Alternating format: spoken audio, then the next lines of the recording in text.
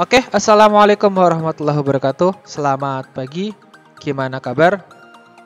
Kembali lagi dengan saya, Saiful Habib Di pelajaran ASC kelas 11 Di sini kita akan mencoba untuk menginstal program FTP server di Debian 10 Sebelum kita masuk ke job sheet penginstalan FTP server di sini ada beberapa yang harus kalian siapkan. Yang pertama adalah Debian. Yang kedua adalah FileZilla. Di sini FileZilla tampilannya seperti ini. Kemudian juga jangan lupakan koneksi internet yang cukup lancar untuk instalasi FTP servernya. Eh, kita pakai dua adapter di GUIS-nya. Adapter pertama kita buat menjadi NAT Network Auto Translate itu untuk koneksi ke Ethernet Kemudian network kedua kita jadikan host only adapter. Ini fungsinya supaya guest kita bisa berkomunikasi dengan host. Seperti itu kita klik OK seperti ini. Kemudian kita start. Oke Setelah start selesai kita login. Kalau kita di sini kalau menggunakan Debian kita sebaiknya masuknya langsung ke root. Root atau user administrator. Kita masukkan password, kita klik enter. Nah, di langkah berikutnya kita harus memberikan IP 192.168.563 ke dalam uh, Quest Debian yang telah kita install. Nah, caranya kita ketikkan nano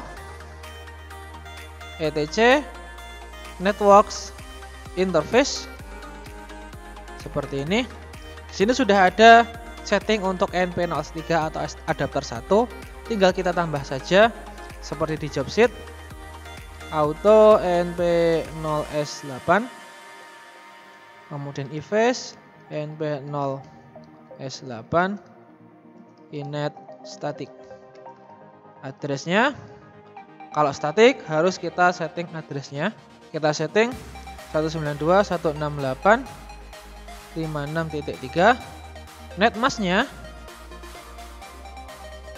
255 255 255 0 kita klik Ctrl O untuk menyimpan kemudian Ctrl X. Kemudian kita if down uh, yang baru saja kita setting npnos 8 enter interface not configured abaikan saja. If up np0 s8 Oke, kita cek IP-nya dengan perintah IPA sudah ada yaitu yaitu di np0 s3 sudah mendapatkan alamat IP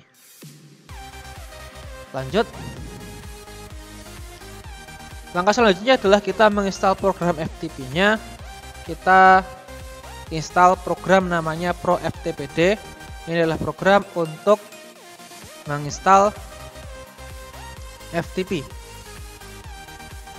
Kita install langkah selanjutnya kita install pro Oke, di langkah selanjutnya kita install program FTP servernya. Namanya adalah Pro FTPD. Di sini kita langsung saja install apt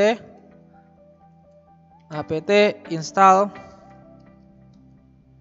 Pro FTPD. Oh iya, supaya tidak untuk mencegah kemungkinan terjadi error, jangan lupa kita apt update dulu.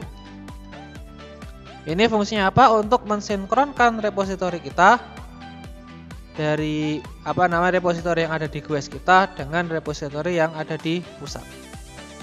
Setelah apt update selesai, tidak ada error, kita klik apt install Pro FTPD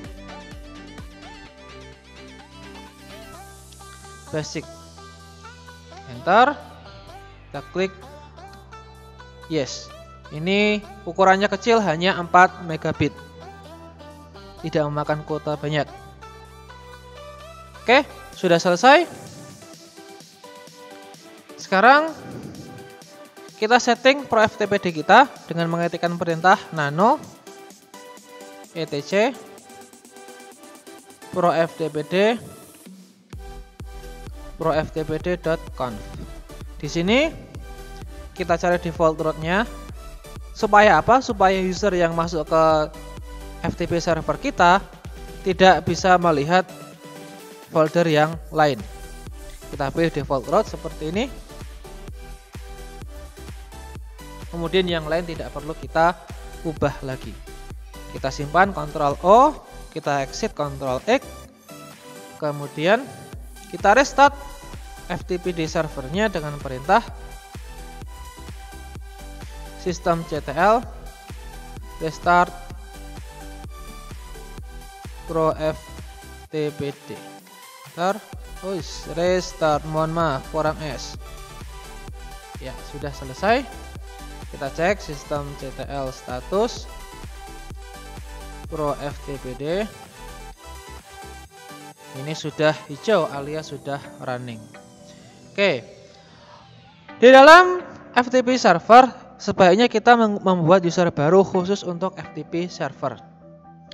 Di langkah selanjutnya kita akan membuat user baru khusus untuk FTP server. Namanya adalah FTP user. Kenapa dibuat kenapa dibuat user baru? Supaya lebih aman. Supaya tidak rancu antara user yang bisa mengedit file system dengan user FTP. Kalau misalnya ada kesalahan di dalam kita men-setting FTP kita, Kemudian ada hacker yang bisa masuk ke FTP server kita, maka kerusakan uh, akan bisa diminimalisir jika kita menggunakan user khusus untuk FTP server. Cara gimana untuk membuatnya? Kita klik, kita ketikkan add user FTP user. Seperti ini kita masukkan password. Kita masukkan nama kita kosongi saja kita klik Y. Enter seperti ini. Kemudian setelah itu kita buat file test. File test di mana? File test di FTP server kita dengan perintah nano slash home FTP user kemudian test kemudian underscore nama kalian di job sheet dijelaskan ini nama kalian Sebaiknya saya uh, sebaiknya kalian pakai nama panggilan saja. Dan tidak boleh ada spasi atau karakter khusus. Misal tef saiful seperti ini .txt. Enter. Kemudian kita klik kita isikan tes ftp. Ctrl O, Ctrl X. Kemudian kita ceknya, kita cek sudah benar atau belum. Chat home FTP user tes tes FTP sudah jadi. Nah, kemudian bisa kita nah untuk mengakses FTP server kita gimana? Kita buka Google Chrome atau mungkin Mozilla Firefox, kita ketikkan alamat 192 uh, 192 168 56.3 enter. Nanti di sini kalian akan diminta untuk memasukkan username dan password. Silakan masukkan saja FTP user. Kemudian passwordnya. Kita klik enter, maka sudah menjadi seperti ini. Tahap pertama sudah selesai. Nah, kalau kita masih menggunakan browser, kita hanya bisa mendownload saja. Kalau kita klik di sini, nanti akan terdownload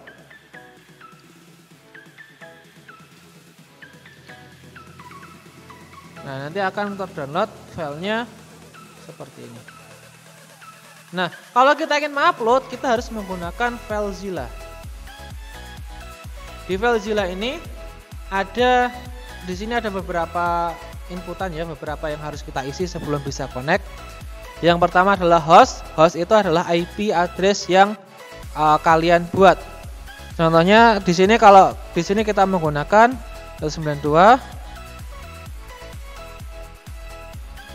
168 56.3 kemudian username-nya adalah username yang kalian buat juga FTP user FTP user passwordnya adalah password kemudian port ini secara default portnya adalah 21 karena kalian belum mengubah-ubah maka di sini cukup dikosongi saja.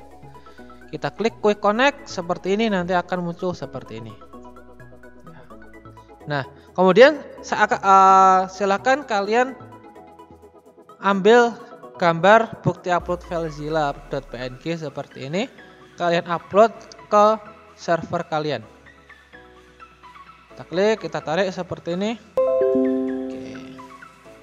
Nah, ini sudah terupload di sini. Buktinya gimana? Buktinya kalau di sini kita reload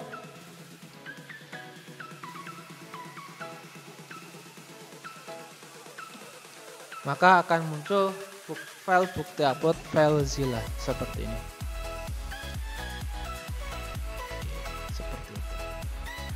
Nah, job sheet uh, Pro FTPD sudah jadi. Kemudian untuk tugas silahkan kalian cukup screenshot saja screenshotnya di browsernya ini seperti ini. Dan juga di apa namanya file zilanya seperti ini. Bisa dipahami ya? Kemudian untuk tugas selanjutnya di job sheet FTP kita harus mengubah port dari port standar 21 ke 2121 port FTP nya yang diubah ya nah Caranya gimana? Caranya cukup mudah. Di sini kalian buka Oh, maaf. Kalian buka uh, sistem Pro FTP di kalian. Caranya ada di sini nano slash etc slash pro ftpd slash pro ftpd.conf enter kemudian di sini ada tulisan port kita cari tulisan port. Nah di sini portnya kita kita jadikan 21 21 kita klik Ctrl O untuk menyimpan kemudian Ctrl X untuk keluar. Kemudian kita restart jangan lupa kita restart server eh, FTP kita dengan perintah sistem CTL restart pro FTPD enter seperti ini. Kurang S restart oke kemudian untuk bisa connect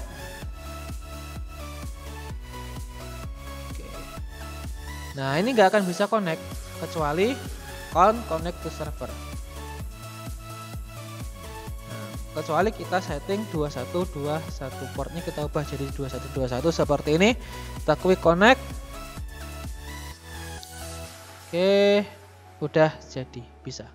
Kemudian di sini juga sama. Kalau di browser kita pakai titik 2 2121 kita klik enter kita masukkan FTP user kita masukkan password enter maka sudah jadi seperti ini. Ini akan berubah ya indeksnya ada titik 22121 oke itu saja untuk tutorial dari saya.